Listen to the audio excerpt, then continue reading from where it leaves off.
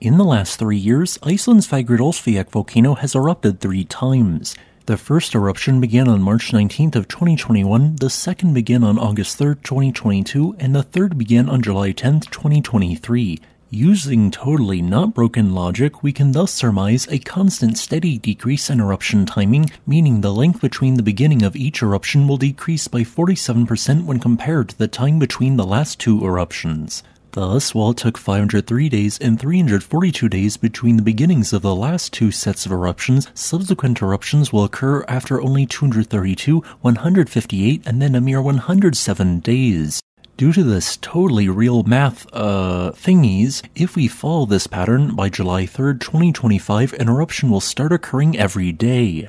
All jokes aside, we truthfully do not know when Fagradalsfjall's next eruption will occur after its ongoing eruption ends.